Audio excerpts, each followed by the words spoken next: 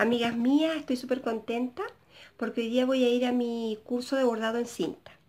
Así que compré algunos materiales porque a la primera clase no pude ir, pero compré algunos materiales esperando que me sirvan y que sean los que tengo que llevar. Así que estoy pues entusiasmada, cualquier cantidad. Ya tengo listo aquí mi bolsito, miren. Bolsito ahí.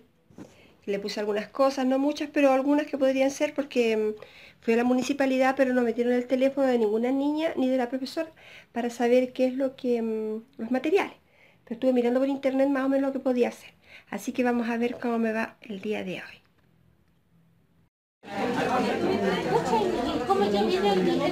Aquí estoy en el curso de bordado en cinta. Ahí se ven hartas compañeras.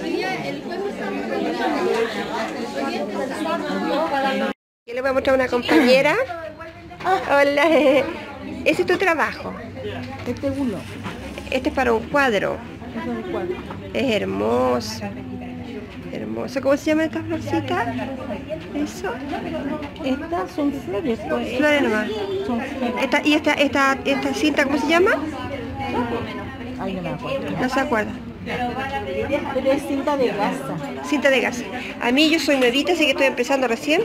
Y tuve eh, papel mantequilla, cortarlo así en forma de, de volantín. Porque voy a hacer un cojín. Y este es, mi, este es mi dibujito. Acá tiene otro la compañera. Miren qué lindo lo que son hace. flores rosas, pero ¿Cómo? aparte. Estas son ellas aparte. Ah, ya, se, se ponen. Estas son pegadas. Hermoso tu trabajo, hermoso. Son pegadas. Está la chiquilla.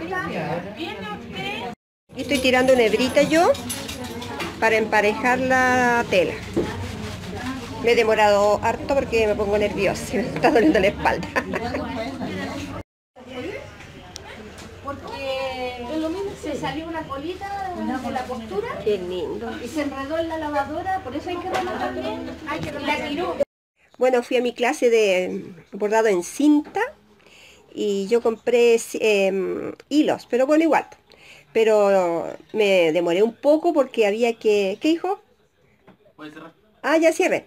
Me demoré un poco porque teníamos que tirarle un hilito a la, a la tela y eso nunca lo había hecho yo. Entonces yo estaba así. Y éramos muchos, pues entonces el espacio era reducido. Pero igual fue bonita experiencia y tengo que mm, comprar otro, me faltan algunos materiales, ¿sí? Y mm, porque ella, ella se bordado en cinta, pero ¿cómo se llama? Fino, eso, fino, se le dice fino. Pero bueno, la cosa es que voy a aprender igual aquí en la casa de ella porque allá es muy reducido el espacio y son muchas alumnas. Porque este era un curso avanzado y no nos dijeron a nosotros y somos cuatro las nuevitas a los pollitos nuevos. Así que ahí de poquito cuando vaya aprendiendo más les voy a mostrar. Así que las dejo. Espero que les haya gustado el día de hoy este blog pequeñito. Y cualquier comentario, recomendación, jaja, la que ustedes quieran chiquillas me escriban. Y mi cajita de información. Así que bye bye, que estén bien. Chao, chao.